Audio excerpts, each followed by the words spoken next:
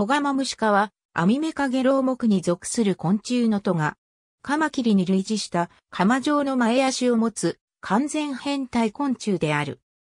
トガマムシ科は、アミメカゲロウ目の小さい分類群で、カマキリモドキ科、ケカゲロウ科、オーストラリアの中世代三上期の地層から記録のある絶滅化のメセベロサデイ、そして中世代白亜紀の絶滅化であるディプターマンタスパデイと共にカマキリモドキ浄化を構成する。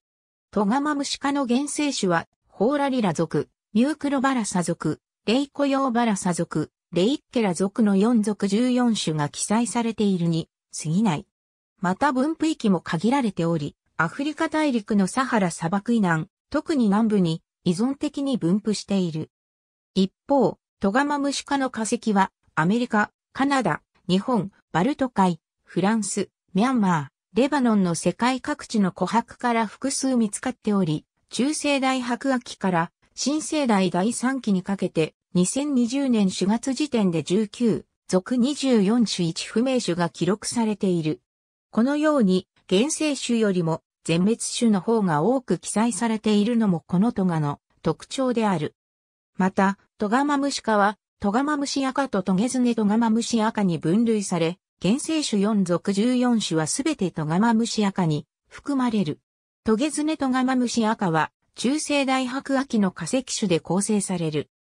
なお、トガマムシ赤及びトゲズネトガマムシ赤は同じカマキリモドキジョウ科に属するケカゲロウ科の赤とされることもあるが、遺伝子解析や化石の再調査などによる近年の研究により、トガマムシ科は独立したトガとして扱われている。トガマムシ科は、形態的特徴から、トガマムシ赤とトゲズネトガマムシ赤に分類される。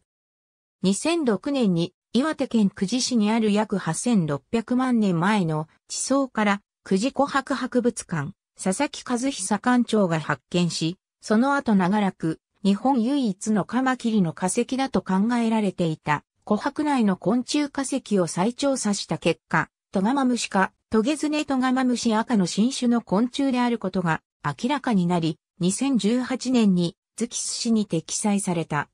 これは全滅種も含んだ日本及び東アジア地域におけるトガマムシ化発の記録である。触覚の構造や前足第一部詞のトゲ状項毛の数、前足体節の長さなどに多種との差異が認められたことから新種として記載され、クイベロータテルユキの学名とクジコハクトガマムシの和名が付けられた。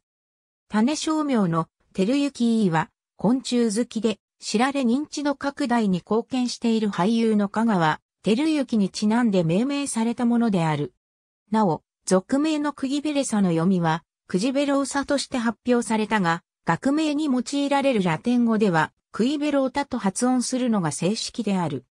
なおトガマムシという和名についても、この発見に基づき鋭利仲間という意味を持つ、戸釜にちなんで名付けられた、新章で、九州大学総合研究博物館准教授の丸山宗俊博士の発案による。